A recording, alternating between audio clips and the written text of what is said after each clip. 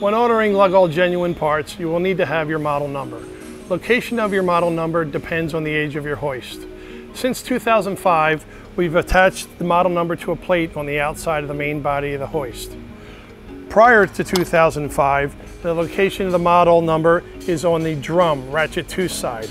You may have to turn the drum till the model number is legible at the top of the frame. Any further questions, please contact Lug-All Customer Service.